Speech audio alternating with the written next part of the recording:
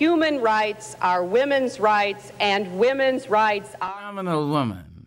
That's my mother and all your mothers. Women used to the very best uh, of their ability. Both men and women should feel free to be strong. Woman's place is truly wherever she wants it to be.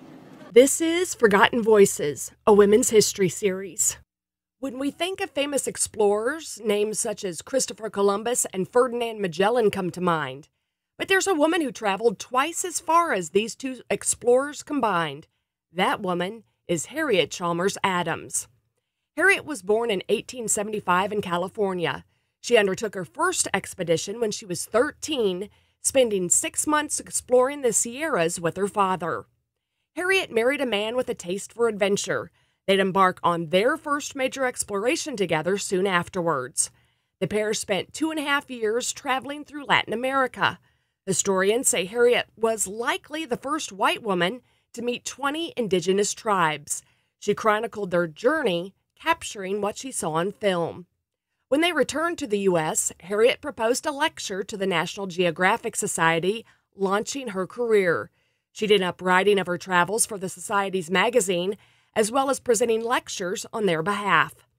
Harriet became one of the most popular adventure and geography speakers of her time. The New York Times declared there was no one, man nor woman, who had a more magnetic hold over an audience than Harriet. Harriet continued to travel, often on her own. She retraced the courses of both Columbus and Magellan. She also served as a correspondent during World War I, being the first female allowed to take photographs of battle. When the American Geographical Society refused to admit women, she helped form the Society of Women Explorers.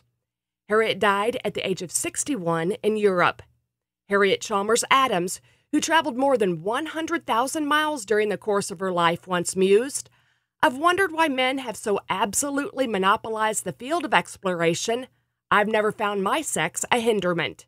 Forgotten Voices is a celebration of Women's History Month.